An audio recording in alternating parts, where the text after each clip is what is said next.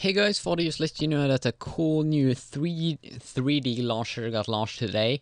It is being called the TSF Shell. It's, as I said there, an Android 3D launcher. It works for, you know, Android 2.3, probably also works on Android 4.0 ICS, I'm pretty sure about that.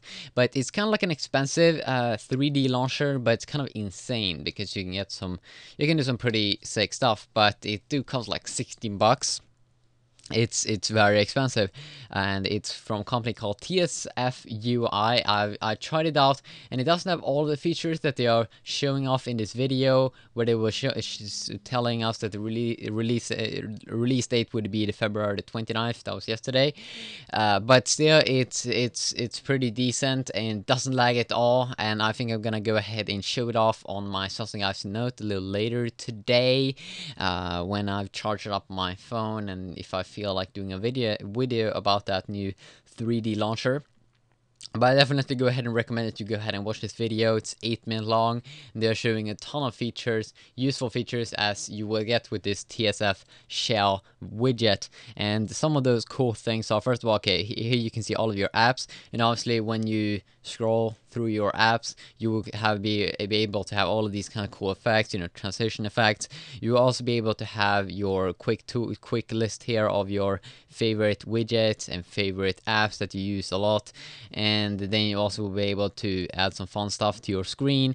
You'll also be able to rotate apps pretty badass. Put out put down notes like this, make folders uh, that looks kind of identical to Apple's iOS. And also one cool thing is that when you're using folders, oh yeah, here we also have the music widget, uh, 3D of course. Uh, but when you're using folders, uh, here you can also see when you're swiping through uh, different screens, home screens.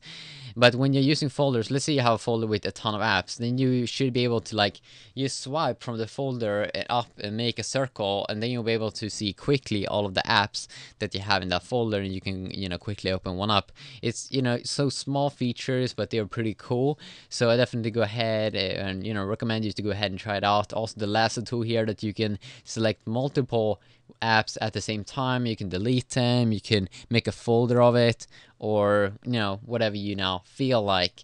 But uh, yeah, here we also have the one of the cool 3D effects. Didn't like at all. It was pretty you know insane on, on in the performance. But I'm kind of skeptical to this. Uh, uh, list uh, on the left side. I, I think it's uh, I don't know. I don't know if I like it that much. Uh, should should have been on the right side maybe, because that's where you're holding your hand most. Go ahead and try it out right now if you want to buy it, or just go ahead and check out the demo, and I may make a video about later this day. See.